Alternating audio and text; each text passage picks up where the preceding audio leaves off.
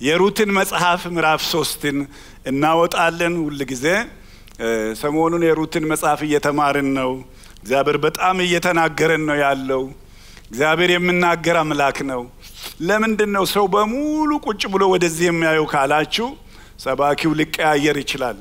ነገር ግን ቃሉ አይቀየርም። ክብር ለጌታ ይሁን። ከእግዚአብሔር ለመስማት ስለምንፈልግ ነው። ሁላችንም ወደዚህ የምናየው ይሄ ቃል የሚለንን ነገር ለመስማት ስለሆነ ልባችሁ ይዘጋጅ። እግዚአብሔር ደግሞ ይናገራል። እግዚአብሔር የተባረከ ይሁን። የሩት መጽሐፍ ምዕራፍ ሶስትን እናወጣለን። ጥቂት ቁጥሮችን አነባለሁ። የምፈልገው ደግሞ ቃል አለ። አማቷም ኑሐሚን አለቻት፣ ልጄ ሆይ መልካም እንዲሆንልሽ እረፍት አልፈለግሽምን? አሁንም ከገረዶችሽ ጋር የነበርሽበት ቦዔዝ ዘመዳችን አይደለምን? እነሆ እርሱ በዛሬ ሌሊት በአውድማው ላይ ገብሱም በመንሽ ይበትናል። እንግዲህ የሚለውን ቃል ነው በጣም ስር እንድታሰምሩልኝ የምፈልገው። እስቲ ሁላችንም አንድ ላይ በአንድ ድምፅ እንግዲህ እንላለን። እግዚአብሔር የተባረከውን እንግዲህ እግዚአብሔር ብዙ ነገር ሰርቶ ጨርሶ ለእኔና ለእናንተ ደግሞ እሱ ይህንን ካደረገ ይህን ካስተካከለ እንግዲህ ደግሞ እኛ የምናደርገው ነገር አለ። እንግዲህ አንቺ ደግሞ ትላታለች ኑሐሚን ለሩት፣ አንቺ ደግሞ ይህንን የቀረውን ጨርሽ። እንጸልይ። ቅዱስ አባት ሆይ ይሄ የመንግስት ቃል ነው። በናዝሬቱ በኢየሱስ እንጸልያለን። እግዚአብሔር ሆይ ትሕትና ይገኝብን። እነ ማርያም እኮ ከእግሪ በታቸው ነው ከአፊ የሚወጣውን ይጠባበቁ ነበረ። እግዚአብሔር ሆይ በጌታ በኢየሱስ ስም ከመጣን አይቀር አንዳች ነገር ከአንተ ሰምተን እንድንሄድ አንተ ያግዘን። አንዳች ከእግዚአብሔር አፍ የሚወጣ ቃል እግዚአብሔር ይዘን እንድንሄድ አንተ እርዳን። የሰራዊት ጌታ እግዚአብሔር አምላክና አባት ሆይ ክብር ሁሉ ጌታ ሆይ ለአንተ ይሁን። እኔንም አግዘኝ። ቃሊ ጌታ እግዚአብሔር እግር አለው ይሄዳል። ወደ እኛ ይምጣ፣ ወደ ቤታችን ይምጣ፣ ወደ ህይወታችን ይምጣ። ከዚህ ተነስተን እንግዲህ እኛ የምናደርገውን ነገር ማድረግ የምንችልበትን አቅም ስጠን። ጌታ ሆይ ተናገረን፣ ክብሩን ሁሉ አንተ ውሰድ። በኢየሱስ ክርስቶስ ጌታችን ስም እግዚአብሔር የተባረከ ይሁን። ሃሌሉያ። መጽሐፍት ሁሉ ጌታ ኢየሱስ ክርስቶስ እንዲህ አለ፣ መጽሐፍት ሁሉ ስለ እኔ ይናገራሉ ነው ያለው። መጽሐፍት ሁሉ ማለት ከዘፍጥረት እስከ ራእይ ማለት ነው። ስልሳ ስድስቱም መጽሐፍት በሙሉ ስለ ኢየሱስ ነው የምናገሩት። ይውላ ዘጸአትን ብከፍት ኢየሱስ እዛ አለ።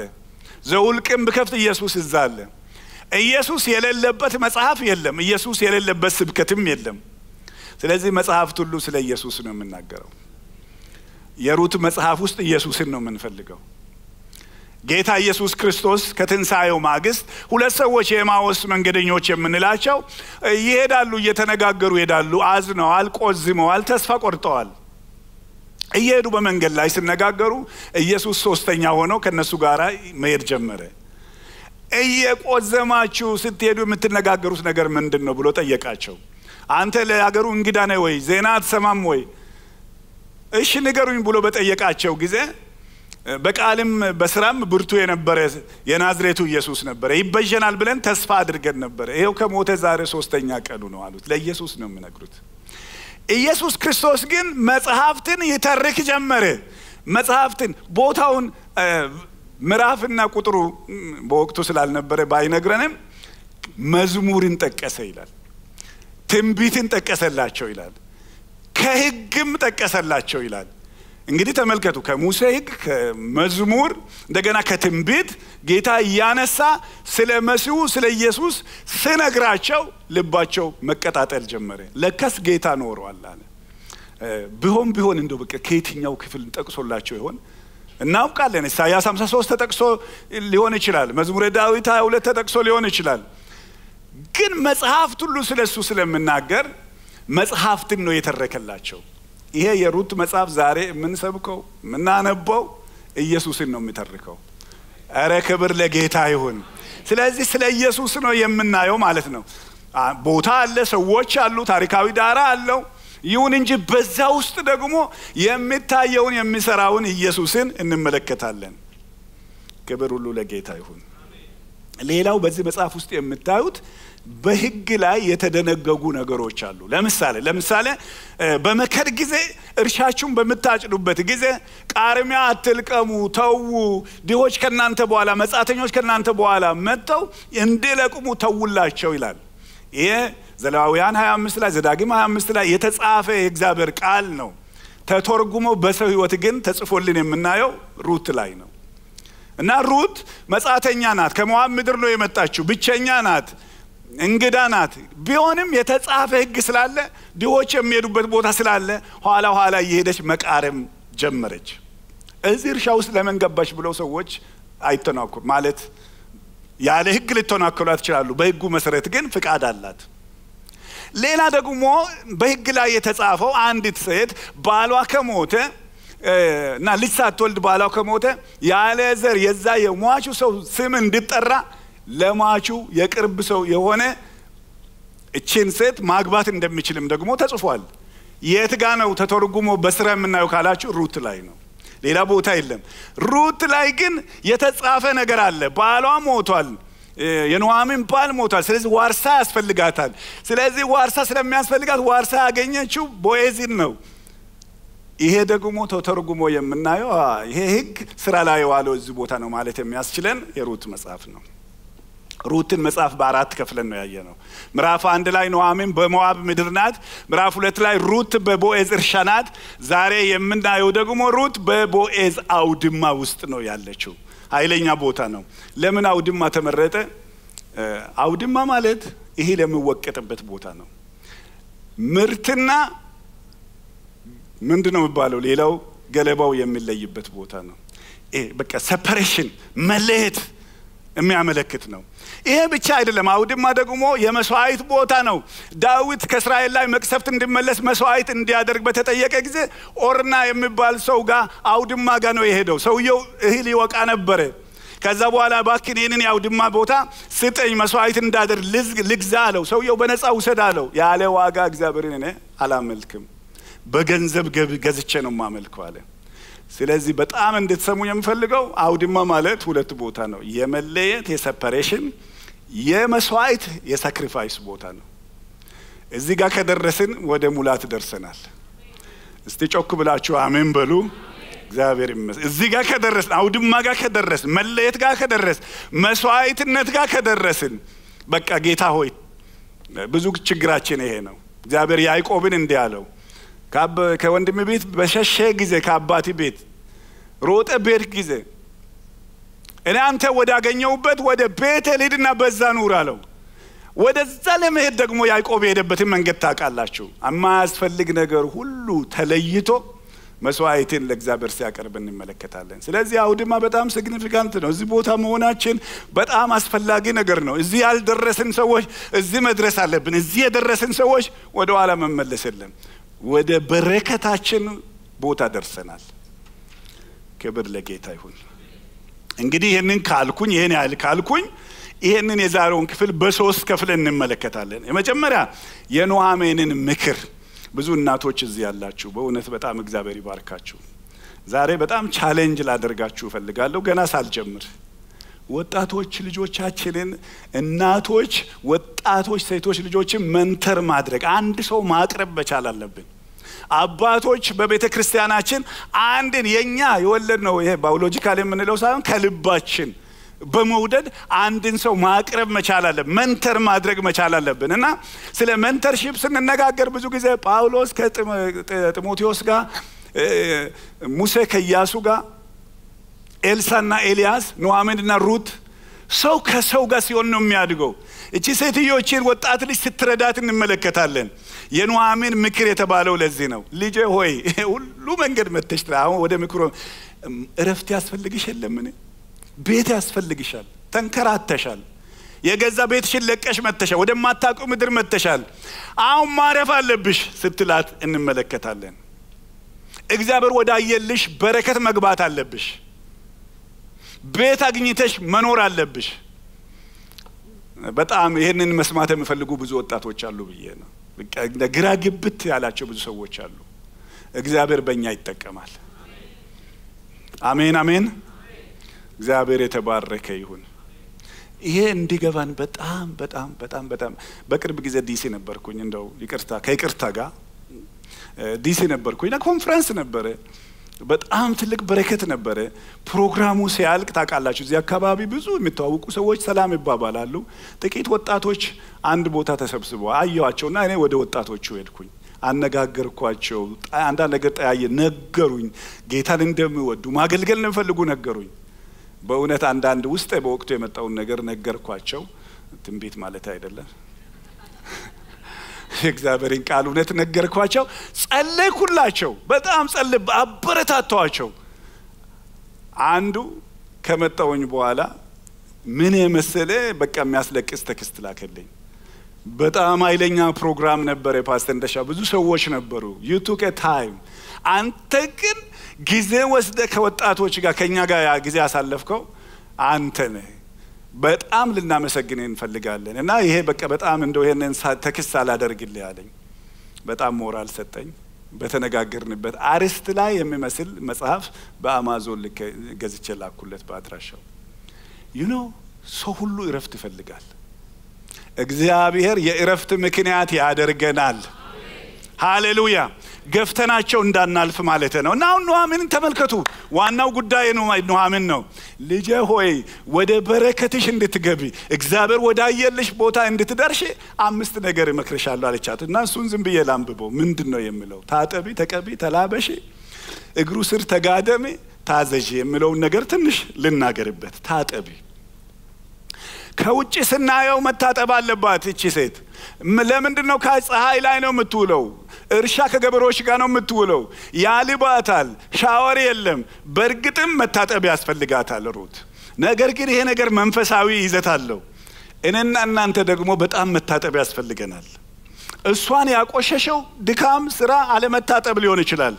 እኛን ደግሞ የሚያቆሽሸን ብዙ ነገር ስላለ ጌታ እንድንታጠብ ይፈልጋል።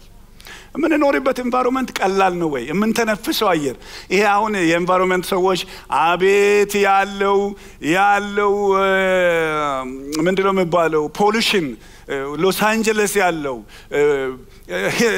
ማለት ቻይና ያለው እዛ ሀገር ያለው ለክተው በቁጥር ይነግሩናል ምን ያህል dangerous አደገኛ እንደሆነ። እኔ አሁን የምነግራችሁ ግን መንፈሳዊ pollution ነው። አቤት ያለው በዩቱብ የሚመጣው በፌስቡክ የሚመጣው በ social media የሚመጣው በሀገራችን ጉዳይ እርስ በራሳችን የምንለዋወጠው ፈልገን ጎትተን የምናመጣው በጣም የተበከለ አየር ነው እየተነፈስን ያለ ነው። እግዚአብሔር እንድንታጠብ ይፈልጋል። እረ እንድንታጠብ እግዚአብሔር ይፈልጋል። ክብር ለጌታ ይሁን። መታጠብ አለብን። ሰው ሻወር ሲወስድ ምንድን ነው የምሰማን? ስንወስድ በጣም ከድካም በኋላ ከረጅም ስራ በኋላ ሻወር በምንወስድበት ጊዜ የሚሰማን ነገር አለ። መንፈሳዊ መታጠብ ደግሞ በእግዚአብሔር ቃል ውሃ ስንታጠብ ደግሞ ውስጣችን ይገባዋል። በምንድን ነው የምንታጠበው? በሁለት ነገር። አንደኛ በቃሉ ነው። እናንተ አሁን ስለነገርኳችሁ ቃል ንጹሐን ናችሁ ይላል ዮሐንስ ወንጌል ምዕራፍ 15 ቁጥር 3 ላይ ወገኖቼው እንደዚህ ቃል የሚያጥብ ምንም ነገር የለም። ክብር ለጌታ ይሁን። የእግዚአብሔር ቃል ያጥባል። በቃ ሻወር መውሰድ እንደምንፈልግ ከዛም በላይ የእግዚአብሔርን ቃል ለመስማት፣ ለማንበብ፣ ለማጥናት ወገኖቼ ሆይ ይሄ ቃል ወደ እኛ ሲመጣ ያጥበናል። በቃ በጣም ብዙ ነገር አጨናንቆናል። አሁን ካለው ካለው pollution የተነሳ ልክ በ life support ላይ እንዳለ ሰው መጸለይ እንፈልጋለን፣ መጸለይ አንችልም። መዘመር ማገልገል እንፈልጋለን፣ አንችልም። የሆነ ማድረግ የምንፈልገውን መንፈሳዊ ነገር እንዳናደርግ የከለከለን ብዙ ነገር አለ። ይሄ ቃል ስመጣ ግን ያጥበናል። ጌታ ኢየሱስ ክርስቶስ ቤተ ክርስቲያንን ከነውር ከእድፈት በምን አጠበ ካላችሁ በቃሉ ነው። ባሎች ሆይ ክርስቶስ ቤተ ክርስቲያንን እንደወደዳት ምስቶቻችሁን ውደዱ፣ በውሃ መታጠብና ከቃሉ ጋር አንጽቶ እንዲቀድሳት ስለ እርሷ ራሱን አሳልፎ ሰጠ ይላል። ቤተ ክርስቲያን ህንፃ አይደለም፣ እኛ ነን። እኛን ሲያጥበን የእሱ ሙሽራ የሚቀድሰን በቃሉ ነው። እረ ክብር ለጌታ ይሁን። አንድ ቀን ያለ ምክንያት ከቤተ ክርስቲያን መቅረት ማለት ሊያጥበን ከሚችለው ከእግዚአብሔር ቃል መራቅ ማለት ነው። ወገኖቼ ሆይ ዛሬ ማለዳ ጌታ እያጠበን ነው ያለው። ኮተቱን በሙሉ ከኛ ላይ እያራገፈ ነው ያለው። ሁለተኛው የምንታጠበው በደሙ ነው። በጌታ በኢየሱስ ክርስቶስ ደም ድፍረት ያገኘንበት የእግዚአብሔር ልጆች ተብለን ልንጠራ ወደ ቅድስት ለመግባት አቅም የሆነንን የኢየሱስ ክርስቶስ ደም ማሰብ ያስፈልገናል። ያ ያጥበናል። እንደዚህ ይላል የጌታ ቃል የዮሐንስ መልእክት ምዕራፍ አንድ ቁጥር ሰባት ላይ እርሱ በብርሃን እንዳለ በብርሃን ብንመላለስ ለእያንዳንዳችን ህብረት አለን ካለ በኋላ የልጁ የኢየሱስ ክርስቶስ ደም ከኃጢአት ሁሉ ያነጻናል ይላል። አሜን። ያንጻን። በቃ pollution ካለ ምንድን ነው የሚሆነው መሰላችሁ? መተንፈስ ያስቸግራል። ጤንነት አይሰማንም፣ ያደክመናል። ወገኖች መንፈሳዊ ንጽህና የጎደለው ነገር ካለም ደግሞ መሆን የምንፈልገውን ነገር ለማድረግ አቅም እናጣለን። አሁን ኑሐሚን እንደዚህ ትላታለች፣ ሩትን ታጠቢ ታጠቢ ልጄ ሆይ ወደ ቦዔዝ ልትገቢ ነው። ወደ እግዚአብሔር ፊት ወገኖቼ ሆይ ማን ነው ወደ ተቀደሰ ተራራ ሊወጣ የሚችለው? ቅዱሱን ለማየት መንጻት ያስፈልገናል። እግዚአብሔር የተባረከ ይሁን። ወገኖቼ በጸጋ ዘመን ውስጥ ነው ያለነው። ቢሆንም ደግሞ እግዚአብሔር ቅዱስ አምላክ ነው። እስራኤል ሆይ እግዚአብሔር አምላክ በሰፈሪ መካከል ያልፋል፣ ነውረኛ ነገር እንዳያይ ፊቱንም ከአንተ ዘወር እንዳያደርግ ሰፈርህ የተቀደሰ ይሁን ይላል እግዚአብሔር ቃል። በእውነት የተቀደሰ ስፍራ ክብር ሁሉ ለጌታ ይሁን። አንድ ሰው እንደዚህ አለ፣ holiness is next cleanness is next holiness። መጀመሪያ ቅድስና ለእግዚአብሔር ነው። የሩት ንጽህና ነው፣ የእኛ ግን ቅድስና ነው። ትንሽ እዚህ ላይ ልቆይ። ሁለቱም ያስፈልጋል። አሁን ግን እግዚአብሔር ስለ ቅድስና ነው የምናገረን። ሁለተኛ ተቀቢ ተቀቢ ተቀቢ፣ በእግዚአብሔር ፊት ለመሽተት መቀባት ያስፈልጋል። እና ስለ ቅባት ስናወራ ብዙ ጊዜ እኔ እዚህ ሀገር ፐርፊውም አለ ታውቃላችሁ። በየሞሉ ስትሄዱ እንደኔ ከሆናችሁ ልብስ ለመግዛት ሄጄ ሁሉ ተደርድሮ በነጸዛ በየአይነቱ ቁጭ ካለ ይፈትናል። ምንም እንኳን ፓስተር ቢሆን ይፈትናል። ከዛ በኋላ በአጠገቡ አልፍና መጀመሪያ እንደው እንደሚገዛ ሰው ግራ ቀኝትና ከዛ በኋላ አድርጌ ይሄ አልተስማማኝ ወደ ሌላው እሄዳለሁ። እኔ ሰዎች እንዴት ነው የሚያተርፉት አትሉም? እንዴት ነው የሚያተርፉ? ይህን ሁሉ ከፍተው ትተውልን እንዴት ነው የሚያተርፉት? የቀረውን ደግሞ በወረቀት አድርጌ ለዕለቱ ይሆነኛል ኪሴ ውስጥ አድርገው ወደ ቤት እሄዳለሁ።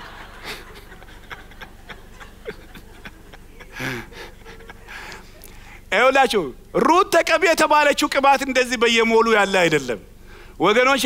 እሷ ሄዳ እንጨት ቆርጣ የቅመም እንጨት ቆርጣ አስተካክላ ፀሐይ ላይ አስጥታ ጊዜ የሚጠይቅ ነገር ነው።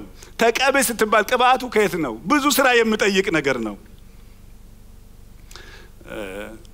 መሀሌ መሀሌ ላይ ስለ ቅባት ዛፎች ስናገር ከናርዶስ፣ ከቀጋ፣ ከከርቤ፣ ከእረት፣ ከከበረ ሽቶ እንደዚህ እንደዚህ ታደርግ ነበር የሙሽሪቷ።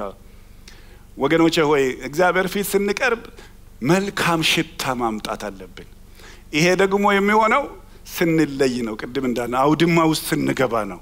የተሰበረ ማንነት ስኖረን ነው። ዮሴፍንም ይላል የእግዚአብሔር ቃል ከሞተ በኋላ ወንድሞቹ በሽቱ ቀቡት ይላል። በህይወት ካለው በላይ ከሞተ በኋላ መሞትን ይጠይቃል። የመስዋዕትነት ህይወት ይጠይቃል። ዝም ብሎ ብቻ ቀባን የሚለው የ drive through ቅባት የለም። ለህይወት ተቀብተናል፣ እግዚአብሔር ይመስገን። ነገር ግን አሁን ለምንለው ለአገልግሎት ከእግዚአብሔር ጋር ለመጣበቅ የሚሸት ህይወት ለመኖር ወገኖች ሆይ መሰጠት ይጠይቃል። ክብር ሁሉ ለጌታ ይሁን። ስለዚህ ታጠቢ፣ ሁለተኛ ተቀቢ፣ ሶስት ተላበሺ። አይ ወደ እረፍት ለመግባት ልብስሽን መለወጥ አለብሽ። እውነት ነው። ሩት ልብስ የሚያስለውጥ ነገር የለም። ባሏ ሞቶባታል። በዙሪያ ሞት ነው ያለው። የሀዘን ልብስ ለብሳለች። ሌላ ደግሞ ተጨማሪ ብዙ የምርጫ ልብስም የላትም። ለረጅም ጊዜ አንድ ልብስ ነው የምትለብስ። አሁን ግን ዘመን ተለውጧል። አሁን የምርኮ ዓመት ስለሆነ ልብስሽን ለውጬ። እግዚአብሔር የተባረከ ይሁን። እስቲ አንድ ላይ ጮክ በሉና እንግዲህ በሉ አሁን መቀየር እንግዲህ በቃ እግዚአብሔር ይህን ካለ እኔ ደግሞ መቀየር አለብኝ። በትላንትናው ባለቀስንበት ባዘንበት፣ ታውቃላችሁ ይሄ ልብስ ከማንነት ጋር ነው የሚሄደው፣ ካለንበት እውነታ ጋር ነው የሚሄደው። ኢሳይያስ 61 ሶስት ላይ ጌታ ኢየሱስ ክርስቶስ ወደ ምድር የመጣው አንዱ ልብስ ሊያለብሰን ነው። በሐዘንም መንፈስ ፈንታ የምስጋና መጎናጸፊያ ይሰጣቸው ዘንድ ልኮኛል ነው የሚለው። ይህ ሐዘን የሚለው spirit of heaviness ይላል በእንግሊዝኛ። በ spirit of heaviness ምትክ የምስጋና መጎናጸፊያ ሊደርብልን ነው የመጣው። አሁን አንዳንድ ጊዜ ታውቃላችሁ ሰዎች በጣም ሐዘንተኞች ሆነን ነው የምንመላለሰው። ትልቁ የወንጌል አገልግሎት መሳሪያ ምንድን ነው ካላችሁ ደስታችን ነው።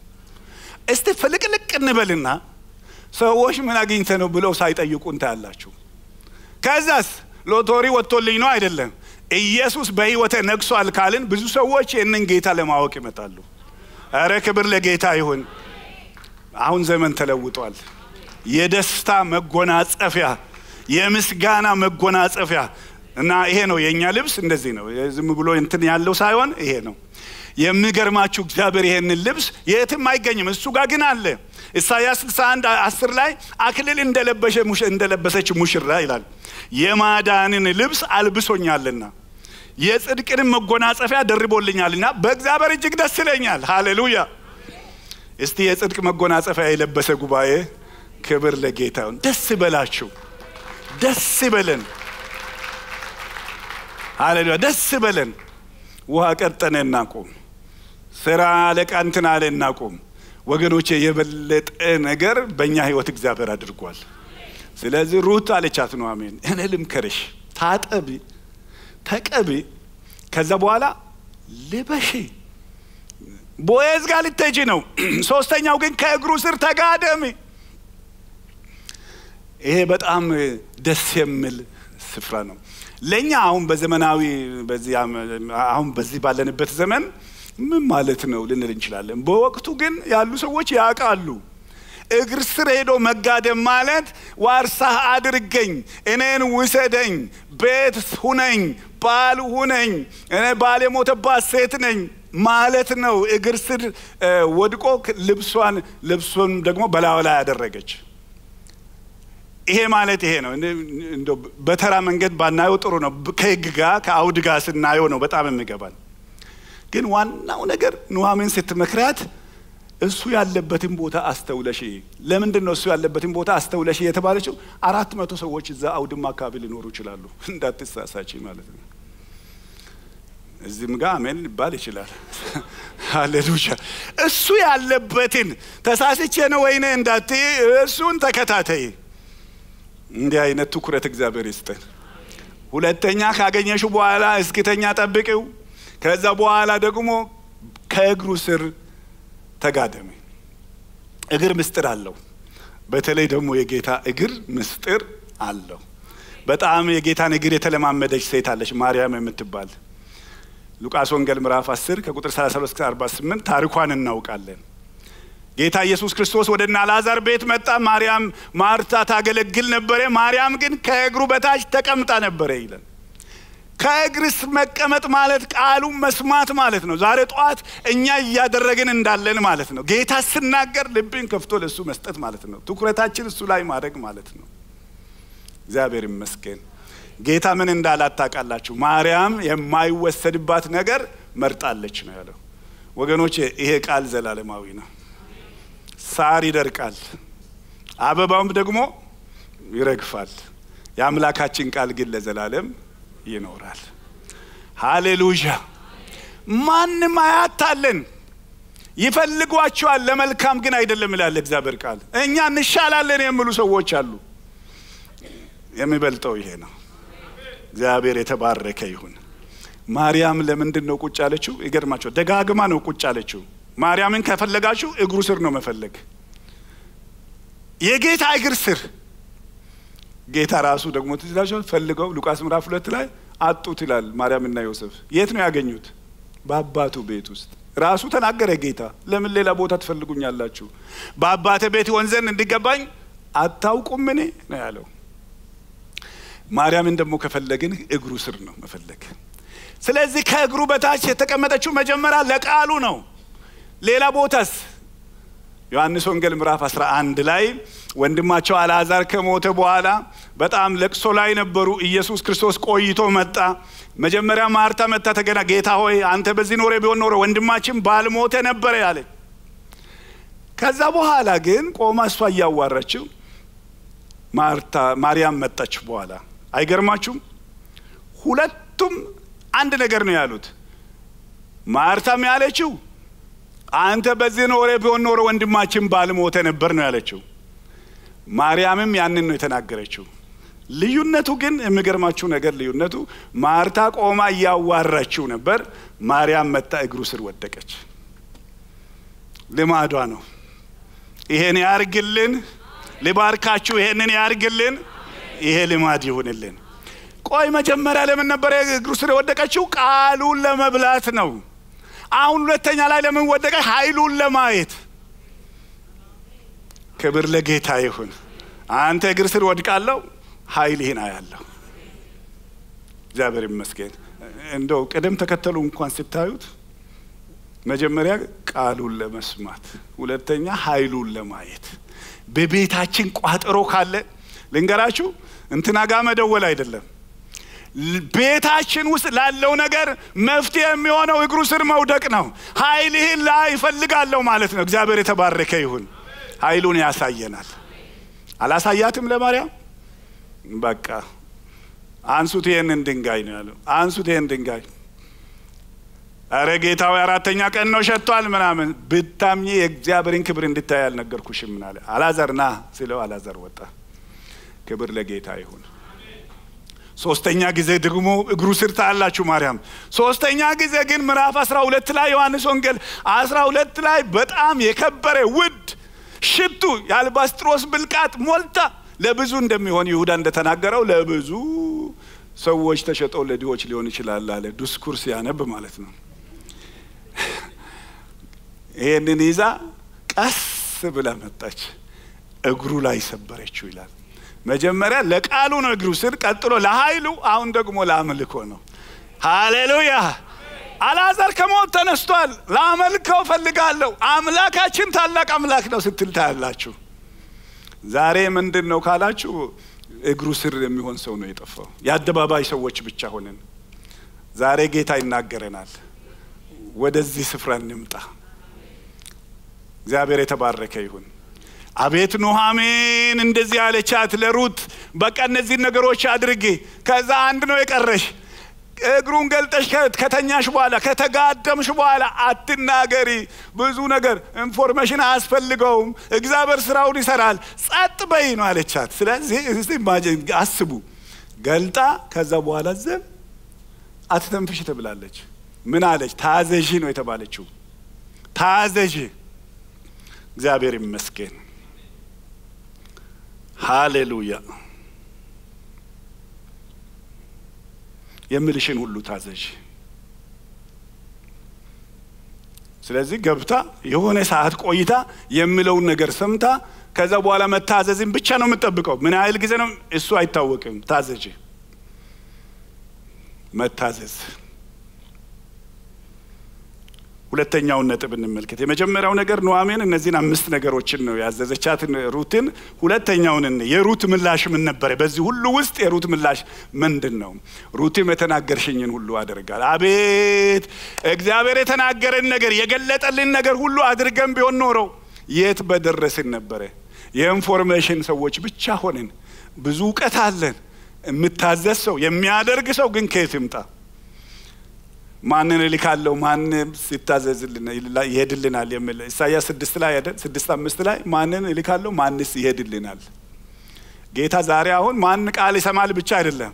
ማን ነው የሰማውን የሚያደርገው? በረከታችን ያለው መታዘዝ ውስጥ ነው። ኢየሱስን ለመውደዳችን ምንድን ነው ምልክቱ ብዬ ብጠይቃችሁ ምንድን ነው ምንለው አንድ ሰው ኢየሱስን ወደዋለሁ ካለ ምልክቱ ምንድን ነው መታዘዝና መውደድ አብሮ እንደሚሄድ ታያላችሁ። ዮሐንስ ወንጌል 14 23 ላይ ኢየሱስም መልሶ አለ የሚወደኝ ብኖር ቃሌን ይጠብቃል፣ አባቴም ይወደዋል፣ ወደ እርሱም እንመጣለን፣ በእርሱ ዘንድ መኖሪያ እናደርጋለን ይላል። የማይወደው ሰው ጌታን ምንድን ነው የሚያደርገው ካላችሁ፣ የማይወደኝ ደግሞ ቃሌን አይጠብቅም፣ የምትሰሙት ቃል የላከኝ የአባቴ እንጂ የኔ አይደለም ይላል። ስለዚህ አንድ ሰው ኢየሱስን ይወደዋል ከተባለ ቃሉን ይጠብቃል። መታዘዝ ይሁንልን። አሜን። እሱ ራሱ ታዘዘ፣ ለመስቀል ሞት ታዘዘ፣ ያውም ለመስቀል ሞት ይላል። መታዘዝ ብቻ ሳይሆን ለከባዱ ወገኖቼ ወይ ጌታ እንድንታዘዘው ይፈልጋል። ሶስተኛና የመጨረሻው የቦኤዝ ምላሽ።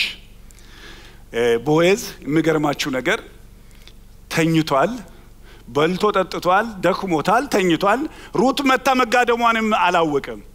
ወደ እኩለ ሌሊት ሲንቀሳቀስ ነው ሰው መኖሩን ያወቀው። ከዛ በኋላ ሰው መሆኑን ካረጋገጠ በኋላ አጭ ማነሽ ብሎ ጠየቃት። እሷ ደግሞ ነገረች። እኔ ሞዓባዊቷ ሩት ነኝ።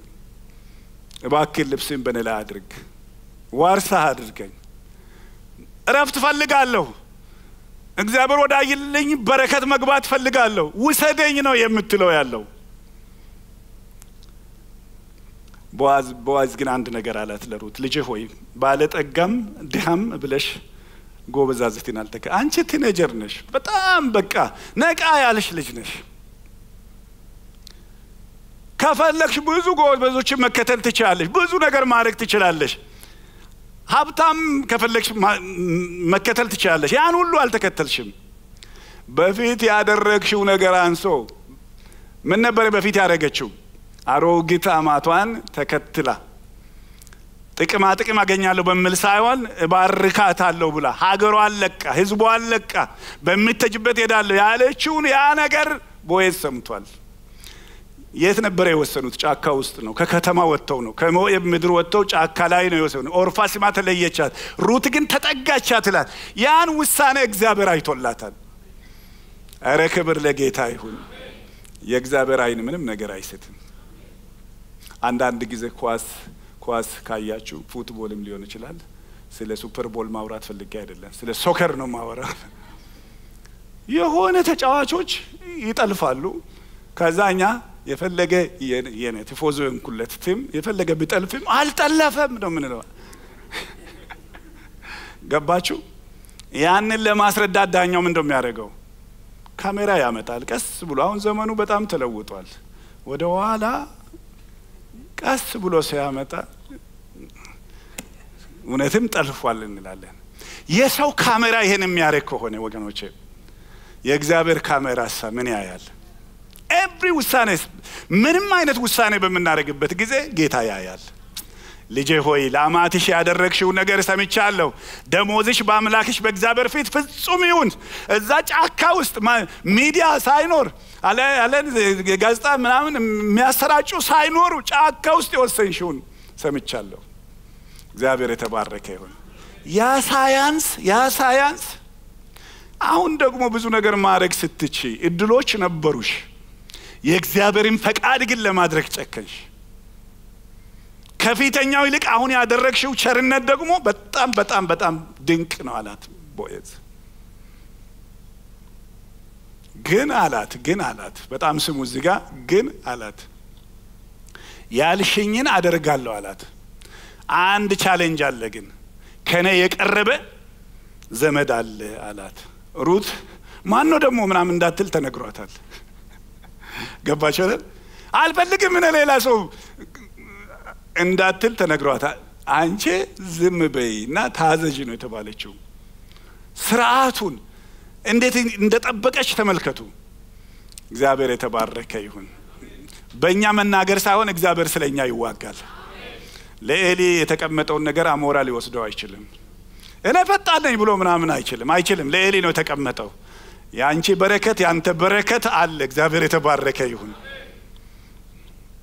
እንደው ይሄ ይሄ የ first service ቢሆን ኖሮ በዚህ ጊዜ እንዴት አሜን እንደሚሉ ይታወቃል። ክብር ለጌታ ይሁን። አንዳንድ ጊዜ መሰናክሎች አሉ። ሩት አሁን በጣም ደስ ብሏታል። ብዙ ነገር ጥሩ ነው፣ ግን እዚህ ጋር ለምንድን ነው የኔ ነገር በቃ እንደምፈልገው ቶሎ ቶሎ የማይሄደው የምንል ሰዎች የለንም። አንዳንድ ጊዜ DV ይወጣልንና ከዛ በኋላ ይሄ ፊርማ ልክ አይደለም የሚል ነገር ይመጣል። ህይወት ቀጥ ያለ መንገድ አይደለም ወገኖች፣ ወይ ጠመዝማዛ መንገድ ነው። straight line አይደለም። ወጣ ገባ አለው። አንዳንድ ጊዜ relationship እንጀምራለን ወጣቶች ለመጋባት። ከዛ በኋላ በቃ ነገሮች የሆነ ቦታ የሆነ ነገር ጣልቃ ይገባል። ነው ይሄ ነገር ምናምን ስራ interview እናደርጋለን፣ እንወደዋለን፣ ገንዘቡንም ያስፈልገናል፣ ጥሩ ነው የምንፈልገው በ field ኣችን ነው እንልና የሆነ ቦታ አንድ መሰናከል ስራው ተሰርዟል። እንደውም ያ እንትን የተባለው ተቃይ ታጥፏል የሚባልበት ጊዜ ሁሉ አለ። የወጣው ማስታወቂያ በስተት ነው ሊባልም ይችላል። እንዲህ እንዲህ አይነት መሰናክሎች ሊኖሩ ይችላሉ። ግን እኔ ጉድ ኒውስ ነው ይዤ የመጣሁት። የፈለገ ነገር ይጠምዘዝ፣ ይዞን የሚመራው ጌታ ከኛ ጋራ ነው። እግዚአብሔር ከኛ ጋራ ከሆነ ሃሌሉያ። ስለዚህ ሩት አሁን በሁለት ልብ ነው የምትሄደው።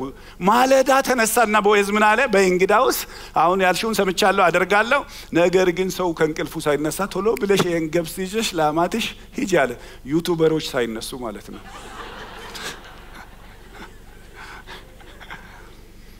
ገባችሁ?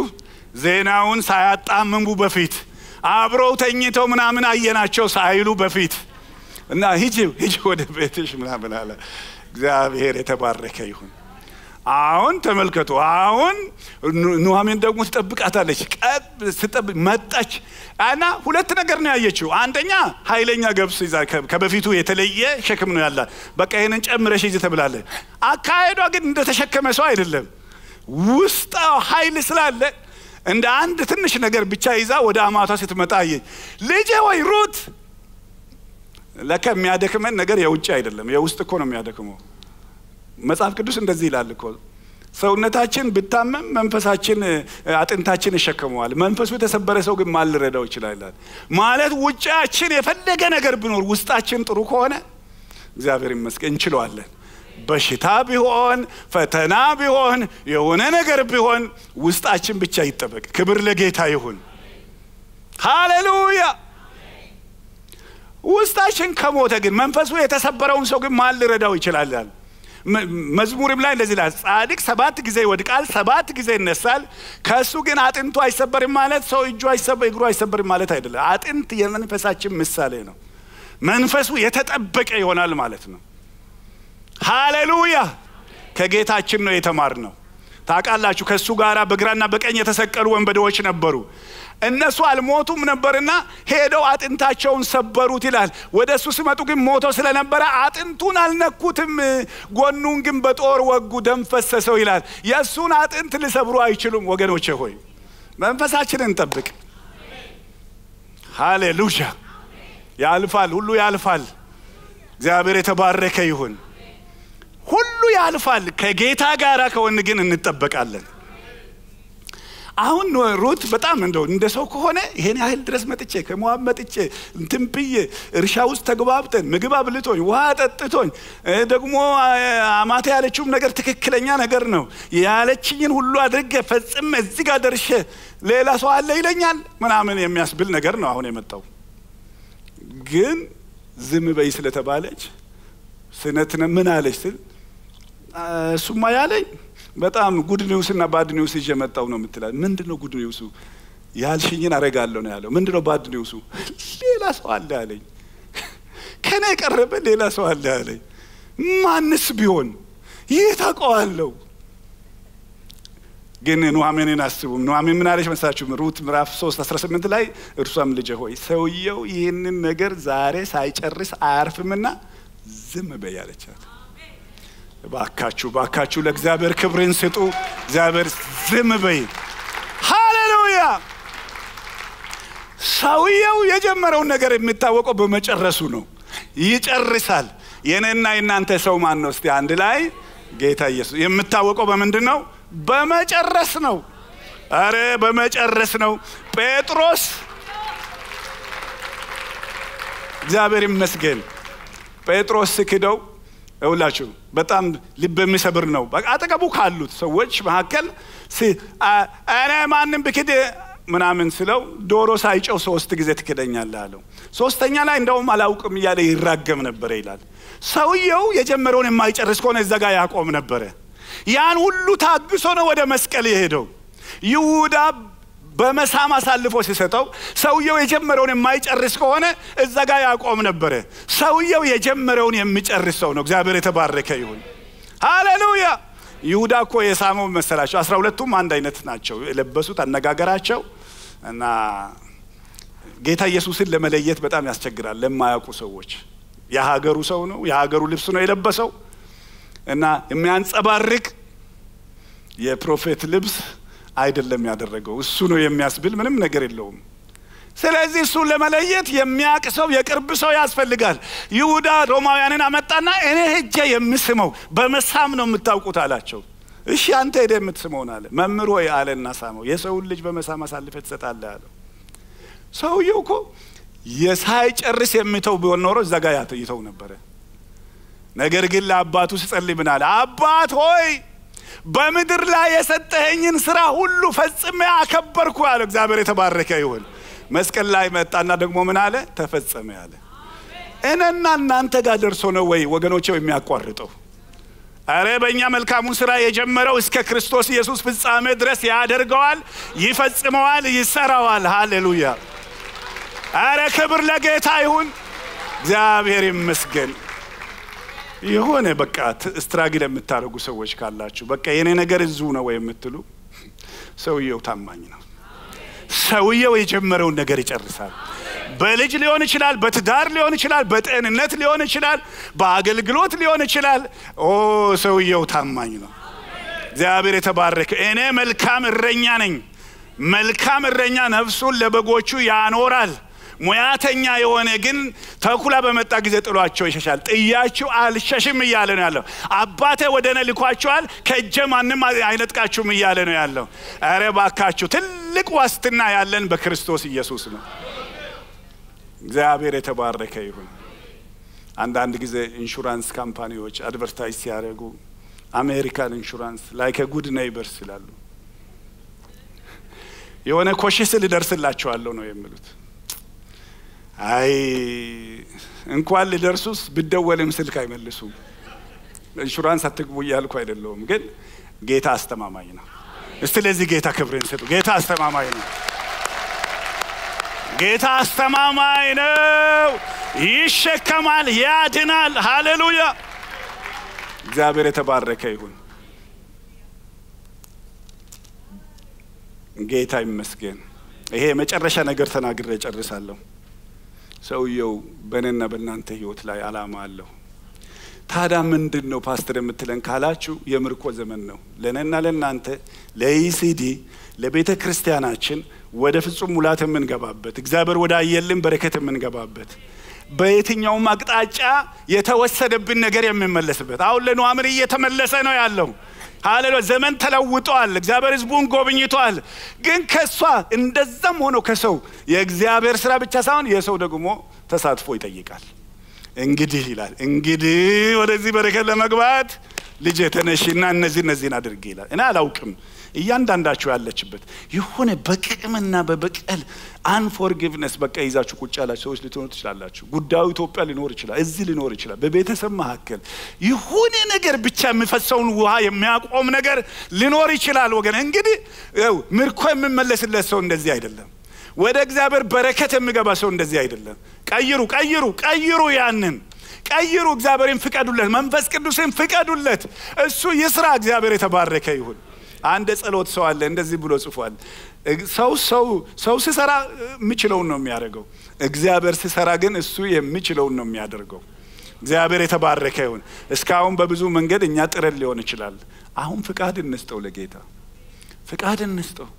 ጌታ ሆይ በቃ ያንተን መንገድ በህይወቴ በኑሮዬ በዘመኔ አቤት አቤት አቤት አቤት አቤት አቤት እግዚአብሔር የተባረከ ይሁን። በሚቀጥለው ሳምንት ምን እንደምናይ ታውቃላችሁ? ሰውየው ሳይጨርስ አያድርምና አንቺ ዝም በይ አይደል ተባለችው። አንድ ቀን አልፈጀበትም ሰውየው። በነጋታው ያለውን ሰውዬ የቅርብ ሰው ያለውን ማፈላለግ ጀመረ። እሱን ለሚቀጥለው ሳምንት መጨረሻ ላይ ግን ነው አሜን። እግዚአብሔር የተባረከ ይሁን። እልልታ ሆነ። በለቅሶ የተጀመረው በደስታ በመቃብር የተጀመረው በሰርግ ሲያልቅ ትመለከታላችሁ። እግዚአብሔር ነገራችንን ይለውጣል።